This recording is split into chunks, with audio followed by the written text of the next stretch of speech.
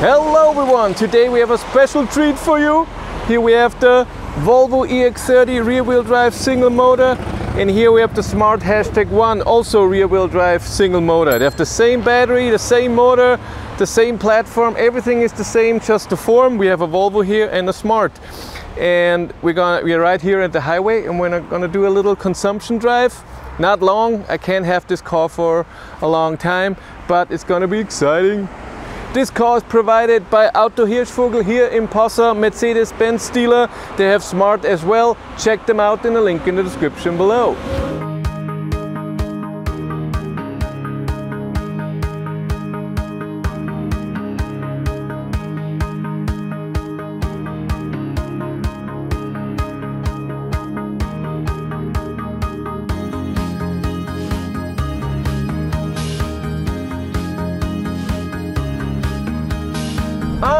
The hashtag one. We're driving 130 on the speedometer uh, because then he has in the EX30 um, uh, the self-steering, which you don't have uh, higher speed. And it's interesting how different it is in here. I have a cockpit. I could have a head-up display. This car doesn't have a head-up display. I have Android Auto, which I don't have in the in the Volvo because this has Android Automotive. Um, we, I have a trip in the cockpit. The trip here, of course, is in a normal display, and I have a, a, a, few trips. I have like three trips here, which is cool. From charging since start, and um, uh, you can reset yourself, and we reset the trip uh, both at the same time. Important is, I only have this car for two hours so we're doing this trip. We cannot do charge before and charge after. There's no time.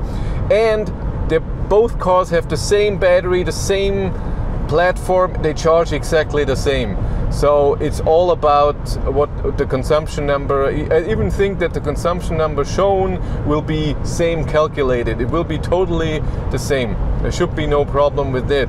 But this car here, the hashtag one, I got it with 60, 96 percent and the EX30 is was at 71 um, so we look at the difference at the end and then we look the most important at the consumption number that it shows us in the trip. Right now it says 293 watt hours per kilometer but the first 10 kilometers uphill uh, because we were in Passau. We have to wait a bit it's busy. Our climate by the way is in 22 degrees AC on in auto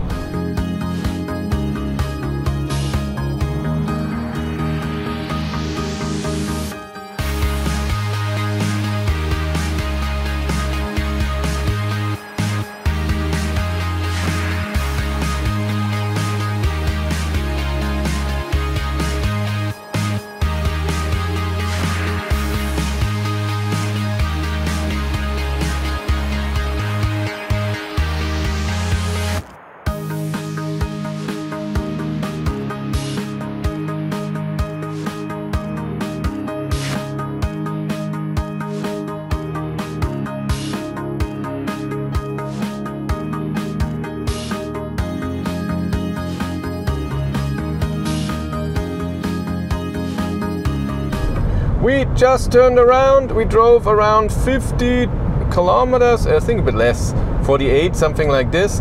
And we were on the phone and talked about consumption in the middle and of course the state of charge. And state of charge, very interesting, exactly the same. We both used 15% of the battery and consumption, I had 215 watt hours per kilometer, he had 208. This seems to be correct um, because the Volvo should have a tiny bit higher WLTP range, which is very interesting. But with the state of charge, there's barely any difference. So if this stays the same, then it doesn't matter what car you get, uh, depending when it comes to range.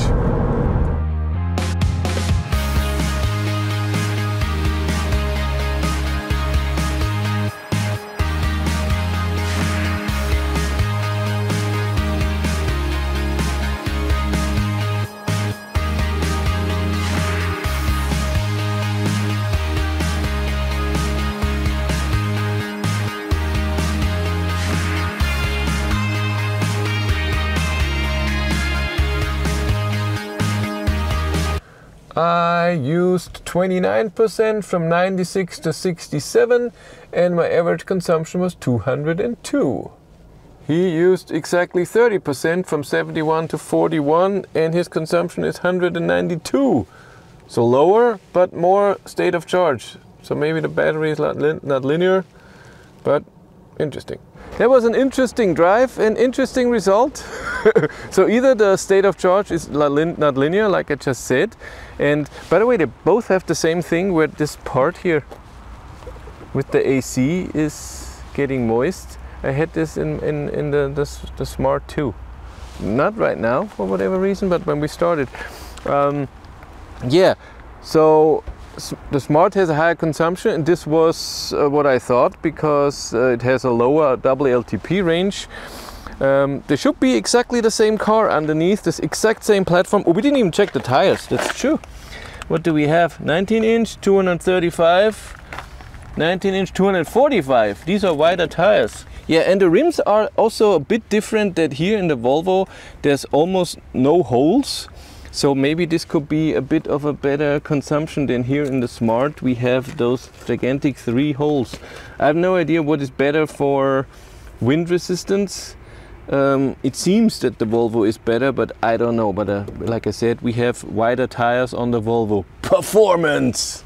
Drive-wise, I have no idea how two cars that are the same platform can be so different in, in what you do. Both had the same limit. Uh, God, what is this? 130 kilometers an hour and then you cannot uh, then uh, above this you cannot use the self-steering but you can adjust the distance on the steering wheel here it's only uh, in the in the infotainment system. I'm gonna do a little video differences between these cars. Yeah, the bugs are horrible here.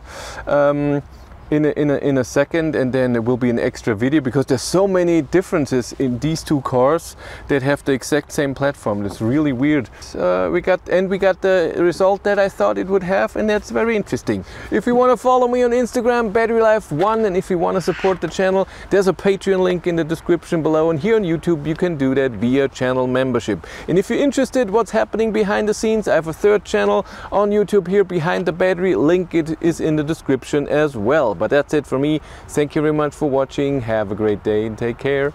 Bye.